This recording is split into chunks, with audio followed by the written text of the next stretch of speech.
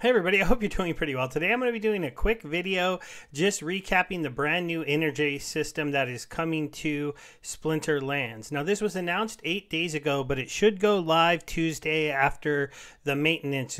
So I decided to wait to cover it in case there was any updates, but there hasn't been any changes that I have seen to the plan. So this is really something that's quite simple to understand they are now going to give you an energy bar with a maximum amount of 50 energy, which will allow 50 battles for you per day, uh, or, or till it runs out, with a refill rate of one energy per hour.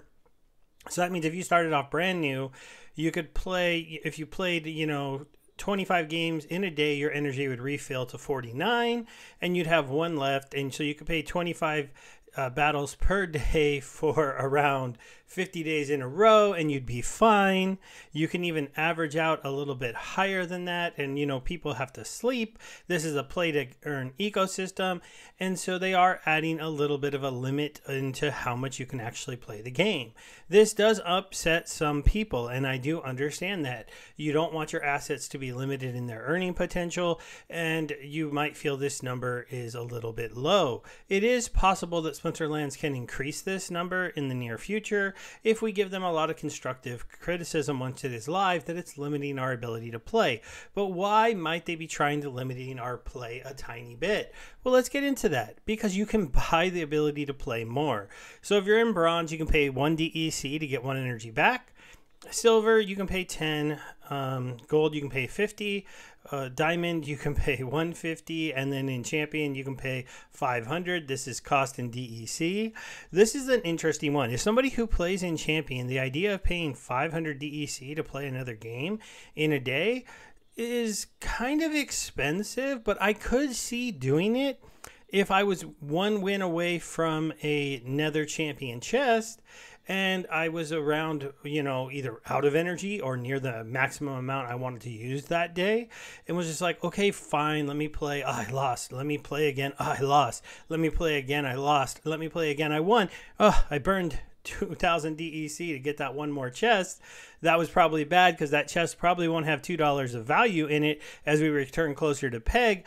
Oops, that was a big mistake. That's why this is really something that to me they've priced a little bit high in champion. Now I do understand that that one extra chest could lead to you know a big SPS chest with with thousands of SPS or a pack and a pack you know in today's price is about 226 even on the secondary market. So oh wait, well then maybe it is worth it, but it's just actually another chance to roll the dice.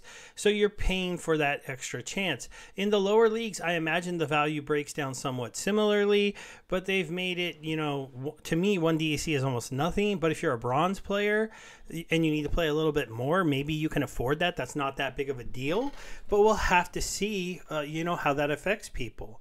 It's a relatively simple concept, and one of the big things that it's changing that will help players is that there won't be that ECR percentage anymore. And so, how I'll explain that to you is normally when you play the game, the only time you would get your maximum amount of resource points towards earning chests is on that very first game you play with a 100% capture rate, and you need to win. After that, you're always earning less than the maximum amount that you could actually be earning. They're getting rid of that. And now you will earn the maximum amount that you could earn for a win every single time you play the game. This really is going to maximize the earning potential of gold cards, promo cards, and playing cards at the right level. It's all going to make that very, very important. So that is relatively good for the game. If you're like playing low level cards in high level leagues and you're taking that big hit to your RP every single battle, well, that's going to hurt you a lot more in this new system because you can't just pay, play extra battles to necessarily make that up. And so this is, uh, you know, in general, a pretty good change. Now I'm going to get logged into the game, and this is to kind of show why I think I support this idea and this change. All you have to do is go to the leaderboards, go to last season, go to bronze, and go ahead and check out these accounts in bronze. You're going to come down only to sixth place before you get to an account that played 1,700 games. 1,700 games in a season just to give you an idea, so if we pull up our little calculator right here, 1,737 games uh, divided by four, oops, uh, we want to back that up by 14 days. That that's 124 battles a day.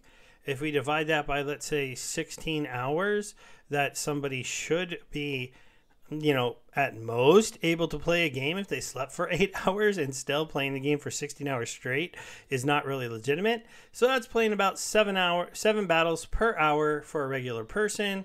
And if you were like more realistic, right?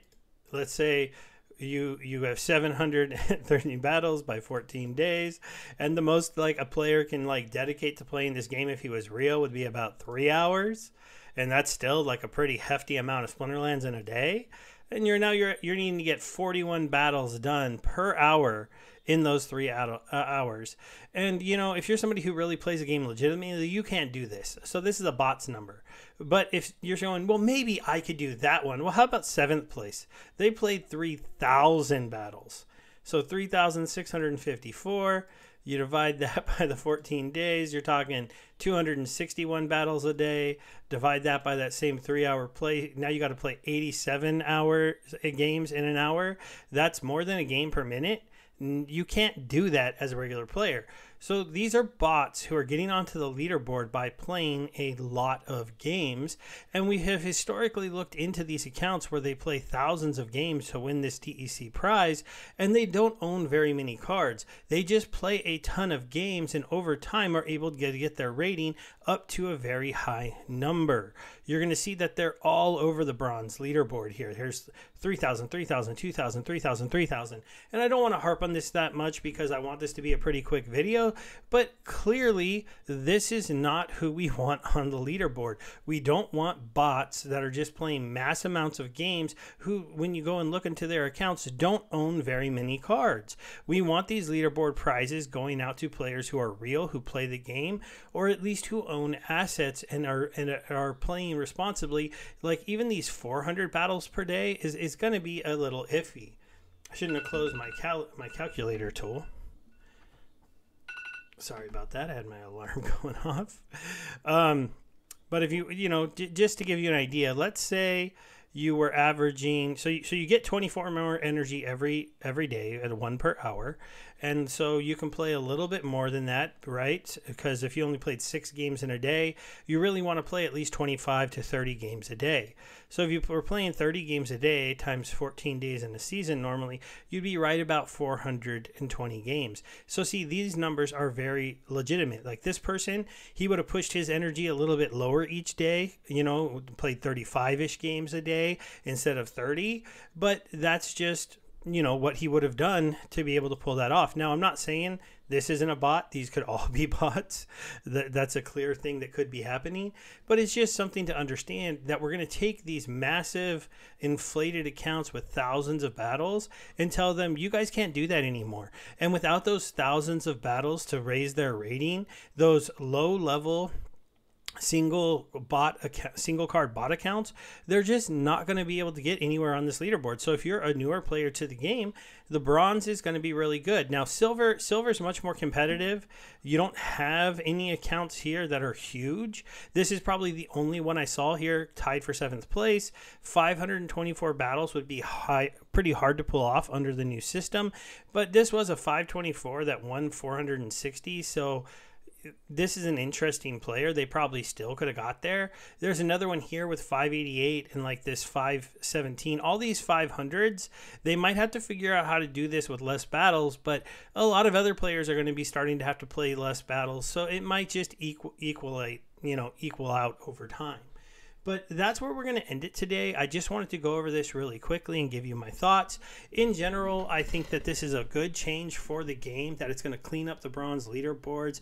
It's going to create a DEC sink that will get used by players when, like, if they're right here, right? I just need one more battle to get that chest, but my, my ECR is just too, too low. I might as well, you know, pay and bump this up a little bit. And I think that's going to be a pretty normal occurrence within the ecosystem. People will push for a certain amount of chests per day. And if they run out of energy, they'll go ahead and pay that energy so that they average out those chests over the season. And it's just another good way to have DEC disappearing from the ecosystem, as that will support the overall game. Thanks, everybody. Bye.